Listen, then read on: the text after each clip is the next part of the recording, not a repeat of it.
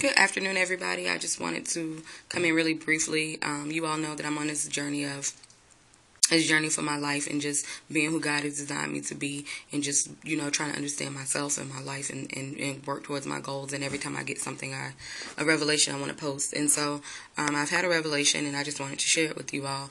Um, the other day I, I sat back and I was thinking about my life. And um, for those of you who don't know, I had my daughter when I was 16 years old. Um, the whole show, 16 and Pregnant, that was me, 16 and Pregnant. But one of my biggest things um, when after I had my daughter is that I didn't want to be a statistic. You know, the the worst thing in the world for me was to to have to be a statistic. I did not want to receive food stamps, and God knows I did not want to live in a project. That was what I would say all the time. I don't want that to be a part of my testimony. I don't want that to be a part of my story. And so, because of that, I made some choices, some good and some bad. Um, you know, based on that theory. Um, God has a way of, of taking the same thing that you're running from and, and, and smacking you right in the face with it and making you face it.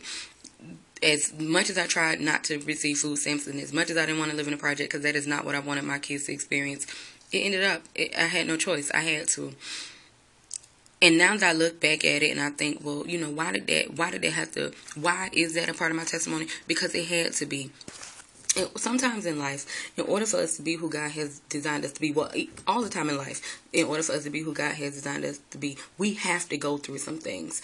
Everything you go through is not necessarily all about you, but it's it, you know, it's used for your testimony because He's going to bring you through it, and then once He brings you through it, you can use it to help other people. What am I saying? I am a social service worker. That is what I do. I enjoy working with other people, helping them get connected to resources and, and just helping them live a full life. A part of my job is to connect them to those resources. I don't know about the resources because I heard it from somebody else. Everything I know is through experience. You know, I can't tell, you know, it's it's it's one thing to be able to tell somebody what you heard and it's one thing to be able to tell them what you know. And I am able to talk to people and tell them what I know. And what I know is that the reason I had to receive food stamps and the reason I had to live in the projects, the reason that I I've been through the things that I've been through is so that I can help other people. So what I'm saying to you is the same thing that you're running from, the same thing that you don't want to face is what is going to be your testimony to somebody else. That is what is going to bring you through. You know, we all have a past and we, you know, we're not all happy about some of the choices we've made in the past, but they are our choices period. And they are things that you've done. Don't be ashamed and live with regrets for things that you've done because that doesn't help it doesn't help you and it's not helping anybody own up to what you've done you know if you've if you've hurt some people in the past make amends and say you're sorry and move on you know if if you you're running from something face it because facing it is what is going to be your testimony in the end so what i'm learning about myself is I have a lot of life experiences and a lot of things that I've experienced that I am just now starting to see how and why I had to experience those things. And that is because I could not be who God has designed me to be without experiencing those things.